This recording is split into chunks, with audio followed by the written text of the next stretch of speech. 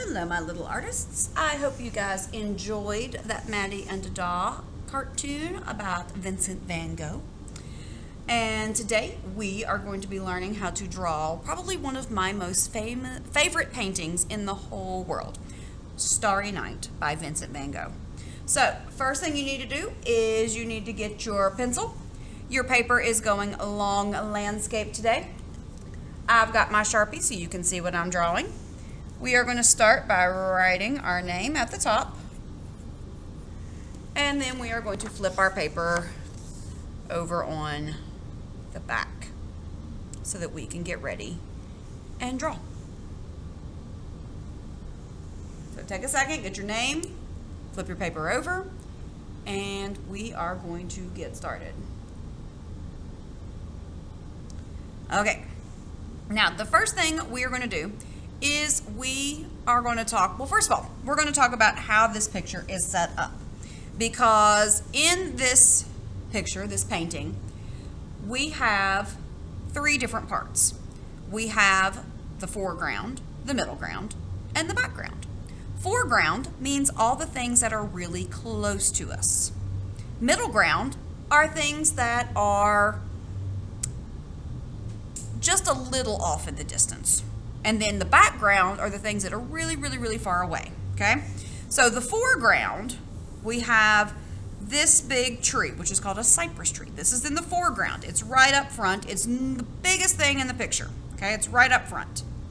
Okay? And then a little bit further away, we have the middle ground, which we've got these buildings, the bushes, and the mountains. Okay? This is all in the middle of our picture. Okay? It's a little bit away. Like it would take some time to walk there, but it's not too far away.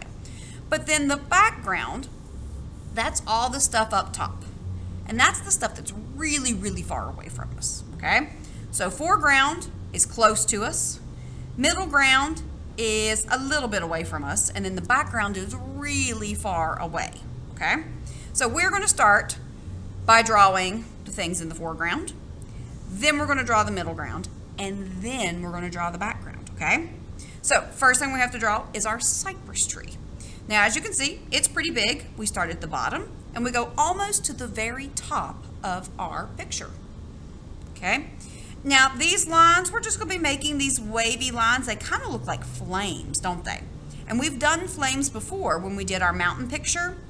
We did the flames, okay? So we're just gonna be doing some flames, flame lines, and drawing our big cypress tree over here on the right side, or the left side of our picture, I'm sorry, the left side. So I'm to start at the bottom, come up, curve down, and then I'm to curve back up, curve down, curve up, curve back down a little bit, curve up, and then I'm going to curve over and down. Now, does to look exactly like mine? Nope. Doesn't have to look exactly like mine.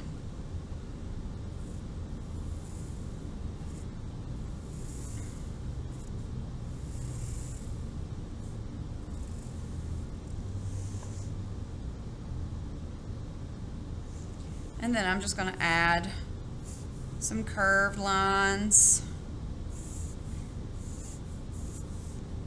Just to give it a little bit of texture, make it look a little 3D. Just some curved lines. Just fill it in.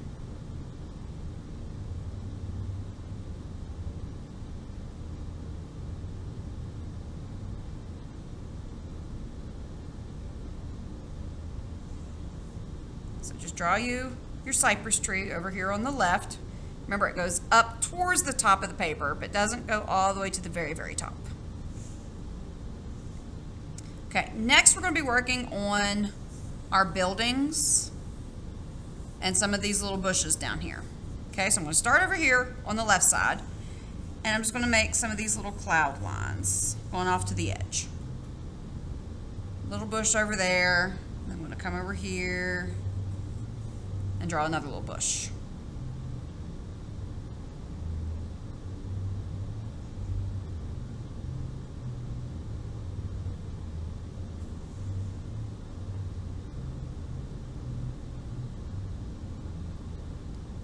Now I'm going to draw me my first building. Now, the first building, what I'm going to do is I'm going to draw it near this bush, and I'm going to start by making a pentagon. And a pentagon is a shape that has five sides.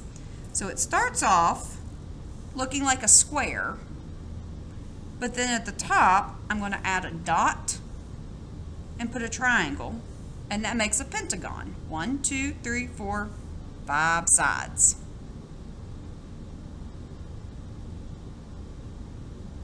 So I just made a little pentagon, and then we'll draw horizontal line back, horizontal line back, connect that. So now I made a rectangle. So I did a pentagon, a rectangle, diagonal line up, and then I'm going to connect the two top points with a horizontal line. And now I've got a little building. Pretty easy.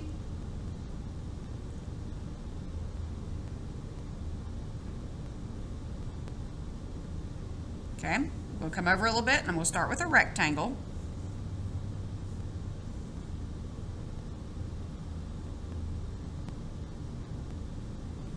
And then I'm going to add a door and two windows.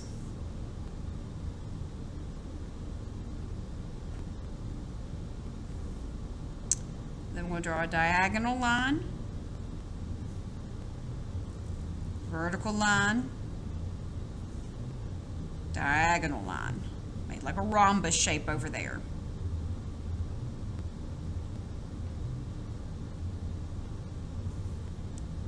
Then I'm going to do a diagonal up, diagonal up there, connect that with the horizontal. Now this one's going to be like a little church. I'm going to add a steeple on top. So we'll start with two little vertical lines, horizontal, and then just like we learned how to make all of our other triangles, I put a top, a dot, and then connect it to either side, and now it's got a little triangle steeple.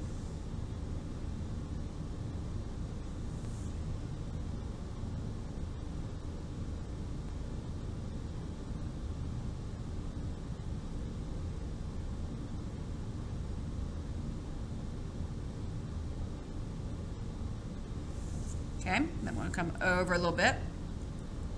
I'm going to start drawing a rectangle, but I'm not going to connect the top yet.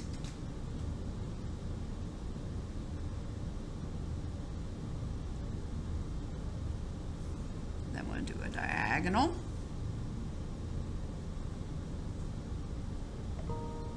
Then we'll do another diagonal, kind of like I'm making a pentagon, but I'm going to do this one a little bit different. Then I'm going to draw a line back.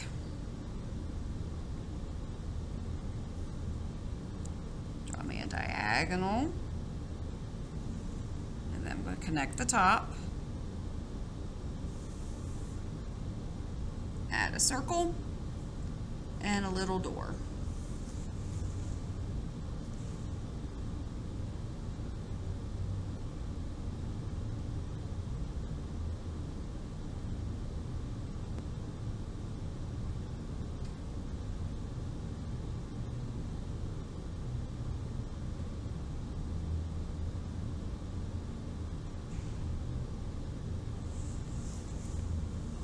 Okay.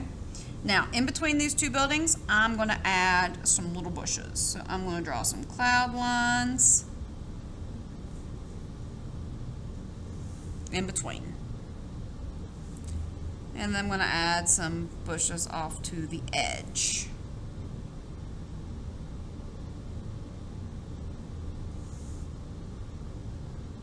I'm going to add one more building down here at the bottom.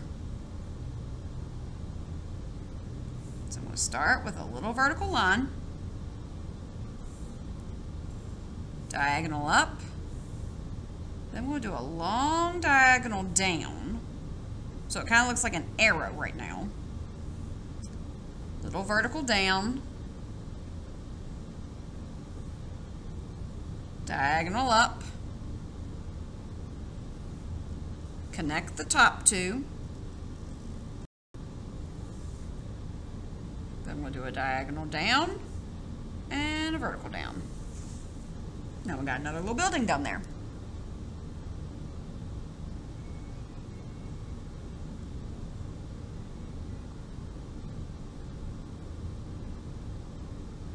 Okay, so we got our cypress tree and we've got our little village down here. Now we're going to add our horizon line, okay? So our horizon line is going to go behind our cypress tree and behind our steeple, okay? So I'm going to start over here. And I'm going to draw my vertical or my horizontal line. I'm going to go all across my paper, stopping at my cypress tree and at the little steeple.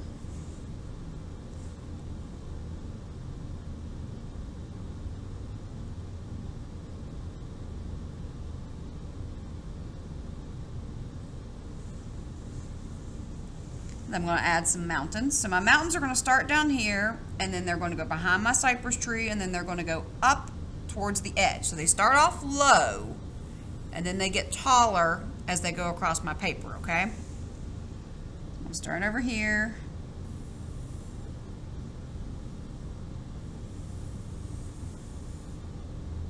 Draw a little wavy line all the way over.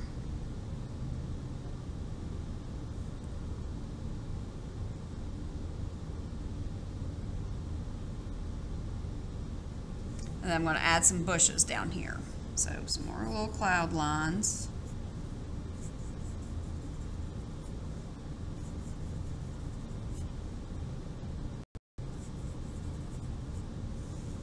And they don't have to look exactly like either one in either of my examples because they all look different too, which is fine.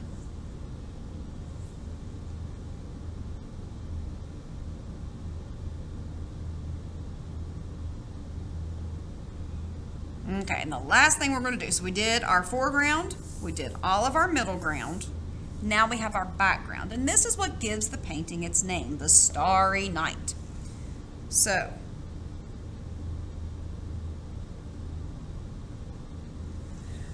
so the first thing we're going to do is we are going to draw the wind.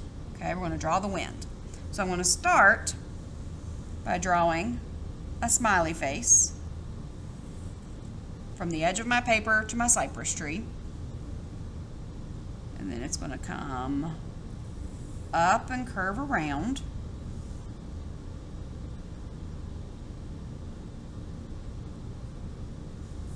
I'm going to start inside and I'm going to curve down, around, up, and then into a swirl, into a little spiral there.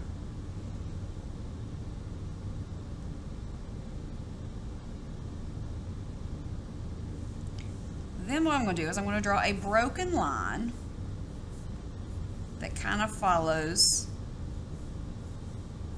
the curve.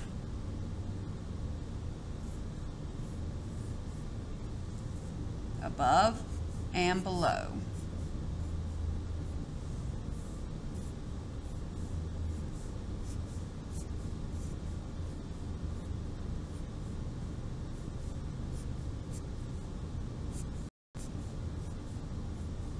drawing that broken line around. And don't take it all the way over to the edge because I still need room over here for the moon. I'm going to do the moon and then I got to do all the stars. So get your wind with the broken lines going above and below.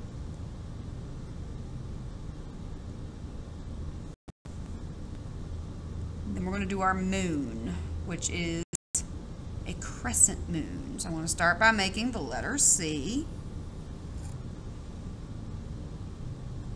And I'm going to make a smaller C inside of it for a nice pretty crescent moon.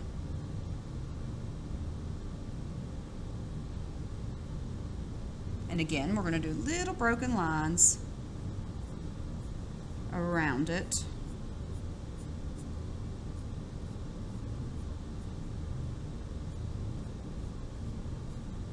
two rows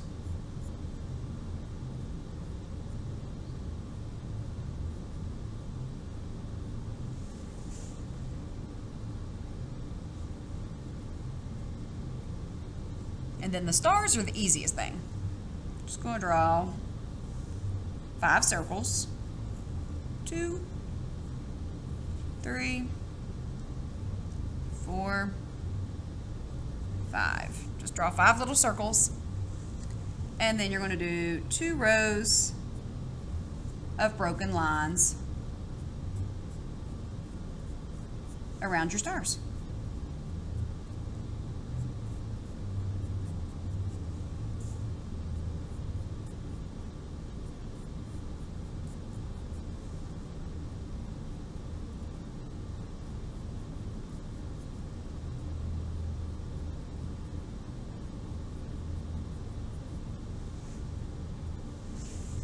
And then we're done.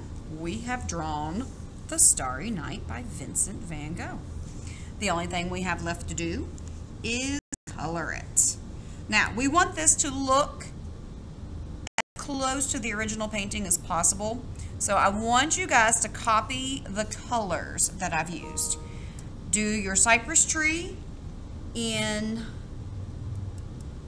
brown, the buildings in black, the bushes and the mountains are green, and then you're going to outline your wind in blue and the stars and the moon in yellow.